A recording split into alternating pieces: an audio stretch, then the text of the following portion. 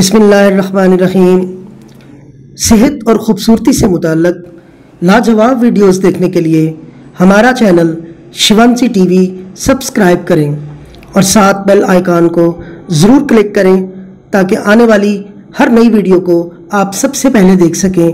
شکریہ۔ بسم اللہ الرحمن الرحیم۔ تمام تعریفیں اس اللہ رب العالمین کے لیے ہیں، جو سب سے زیادہ رحمان اور رحیم ہیں۔ آج کا ہمارا وہی ٹاپک چل رہا ہے یعنی مرد کی زندگی خوبصورت کیسے ہو؟ مرد کی ساری زندگی کی خوشیاں ایک طرف، مگر اگر وہ اپنی بیوی کی خواہشات کو پورا ہی نہیں کر پاتا، تو ایسی صورت میں وہ اپنی ہی بیوی سے مار بھی کھاتا ہے، ذلیل بھی ہوتا ہے، اولاد سے محروم بھی رہتا ہے اور اپنے آپ کو معاشرے سے چھپاتا پھرتا ہے۔ مگر ہم آپ کو بہت اچھی، قیمتی باتیں، اعلیٰ مشورے اور علاج سے آپ کی زندگی کو خوبصورت بنانے کی طرف لے جانا چاہتے ہیں۔ اسی موضوع پر پانچویں ویڈیو آپ کی خدمت میں پیش کر رہے ہیں۔ ابھی بھی وقت ہے، ہم اپنی اصلاح کریں۔ آج کا موضوع صورت انزال کا ہے۔ ازدواجی زندگی میں جنسی ملاپ بہت اہمیت کا حامل ہے جنسی ملاپ صرف اس صورت میں ہی فائدہ مند ہوتا ہے جبکہ عورت اور مرد دونوں کو لذت حاصل ہو اور ان کے اعصاب کو سکون ہو۔ بعض اوقات مرد کا جنسی ملاپ سے پہلے ہی یا فوراً بعد مادہ منویہ خارج ہو جاتا ہے، اسے صورت انزال کہتے ہیں۔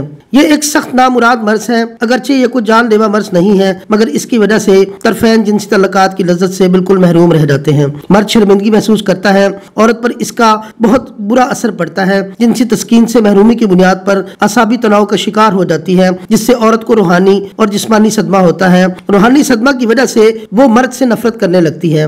جسمانی صدمہ کی وجہ سے اس کی صحت و شباب تباہ ہو جاتا ہے۔ جب جنسی تعلقات سے عورت منزل نہ ہو سکے، اسے رحم میں ورم ہو جاتا ہے۔ ایام حیض میں بے قاعدگی ہو جاتی ہے وہ مختلف امراض میں مبتلا ہو جاتی ہے اور مرد سے سخت نفرت کرنے لگتی ہے۔ مباشرت میں انزال کی طبی مدت عام طور پہ دو تین منٹ تک زیادہ سے زیادہ پانچ منٹ سے لے کے دس منٹ تک ہو سکتی ہے۔ اب ہم آپ کو بتاتے ہیں صورت انزال کے اسباب کے بارے میں۔ صورت انزال کے اسباب میں سب سے بڑے اسباب میں جلک جریان اور کثرت احتلام، بدن میں حرارت کی زیادتی، اعضاء رئیسہ کی کمزوری، ذکاوت حس میں کثرت اور مباشرت شامل ہیں۔ یہ مرد در حقیقت مادہ تولید کے پتلا پن ہونے سے پیدا ہوتا ہے۔ مادہ منویہ میں حدت کی وجہ سے بھی یہ عارضہ پیدا ہو جاتا ہے۔ مادہ تولید کا رنگ زرد اور قوام پتلا ہو جاتا ہے۔ خزانہ منی کی کمزوری کی وجہ سے یہ شکایت پیدا ہو جاتی ہے کیونکہ خزانہ منی میں قوت برداشت ہی نہیں ہوتی۔ وہ نالیاں جن سے مادہ منویہ کا اخراج ہوتا ہے، ان کی کشادگی بھی اس مرض کا سبب بنتی ہے۔ سب سے بڑی جوانی کی غلط کاریاں ہیں، جس کی وجہ سے صورت انزال جیسا خوفناک مرض پیدا ہوتا ہے۔ قانون مفرد اعضاء کے مطابق صورت انزال غدی اعصابی تحریک کی علامت ہے۔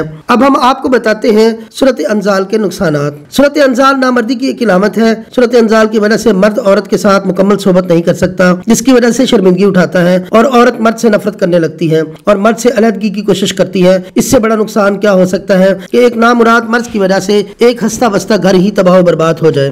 صورت انزال کا علاج۔ صورت انزال غدی تحریک کی علامت ہے۔ ہر غدی تحریک کا اصولی اور صحیح علاج تو اعصابی ادویات ہی ہوتی ہیں، لیکن غدی تحریک میں چونکہ اضلاع تحلیل کی وجہ سے بے حد کمزوری ہو جاتی ہے، جس کی وجہ سے منی میں امساک قائم نہیں رہ سکتا۔ اس لیے عضلاتی تحریک کی ادویات بھی صورت انزال کے لیے بے حد مفید ثابت ہوتی ہیں۔ صورت انزال کا علاج کرتے وقت مریض کو یہ بات ذہن نشین کر لینی چاہیے کہ حقیقی امساک دو تین منٹ سے لے کے پانچ منٹ تک ہوتا ہے۔ اگر مریض اس سے زیادہ طبی امساک کا خواہش مند ہوگا تو یہ ناممکن ہے، کیونکہ بارہا بار دفعہ کے تجربات کے بعد یہ نتیجہ سامنے آیا ہے کہ عہد حاضر میں کسی مرض کا جو کہ صورت انزال کے خطرناک مرض میں مطلع ہو، دو منٹ سے پانچ منٹ تک بھی طبی امساک ہو گیا تو یہ بہت بڑی غنیمت ہے۔ لیکن بعض اوقات ایسے مریض بھی دیکھنے میں آئے ہیں جن کا امساک اس سے بھی زیادہ ہو گیا ہے۔ لیکن یاد رکھیں، اصولی اور صحیح امساک دو، تین منٹ سے پانچ منٹ سے زیادہ سے زیادہ دس منٹ کا ہونا چاہیے۔ اس سے زیادہ امساک کی صورت میں مرد اور عورت دونوں کو نقصان پہنچتا ہے۔ جو لوگ مختلف قسم کی ادویات استعمال کرتے ہیں، طویل ترین امساک کی خواہش رکھتے ہیں۔